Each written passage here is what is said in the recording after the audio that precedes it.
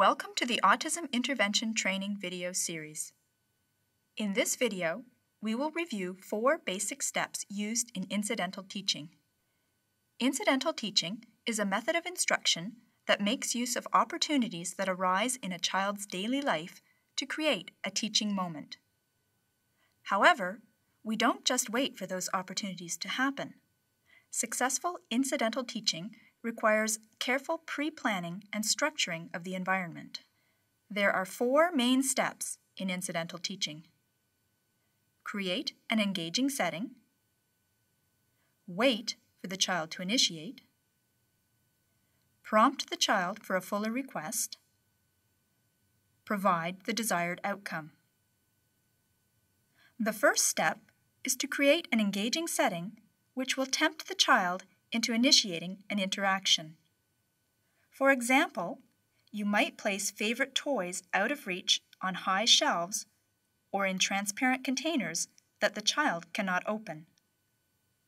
You might give only small portions of a favorite snack or engage in sabotage, such as taking the batteries out of a toy or unplugging the TV so that the child cannot operate them without your help.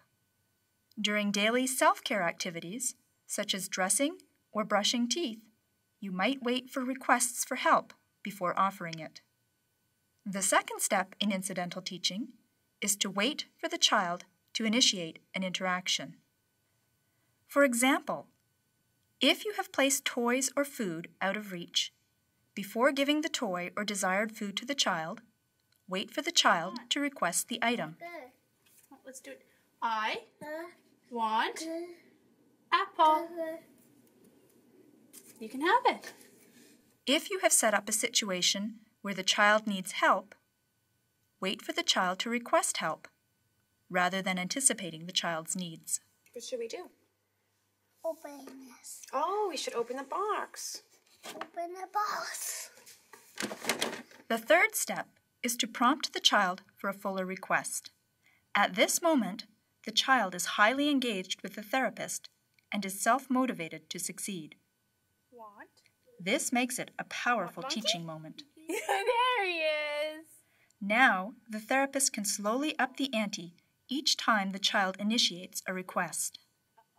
This way, the therapist can teach the child to use increasingly sophisticated methods of communication. For example, if the child is asking for bubbles, you might first accept the sign for bubbles. Later, you might get the child to sign for more bubbles. Later still, you might get the child to say more bubbles while he makes the signs. Bubbles? The final step in incidental teaching is to provide the desired outcome.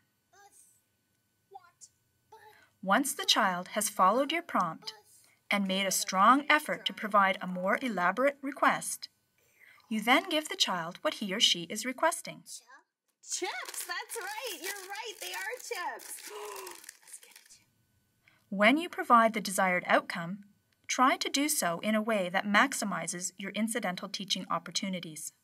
For example, if the child is asking for some candy, give the child one and then wait for him or her to request another. If the child has asked for help with his or her shoes, help the child with one shoe and then wait for the child to initiate and ask for help with the second. This gives you more chances to prompt the child towards more elaborate responses. In summary, incidental teaching involves capitalizing on teaching moments that arise during the child's day by creating an engaging setting, waiting for the child to initiate communication, prompting the child for a fuller, more elaborate response, and providing the desired outcome after the child has initiated communication.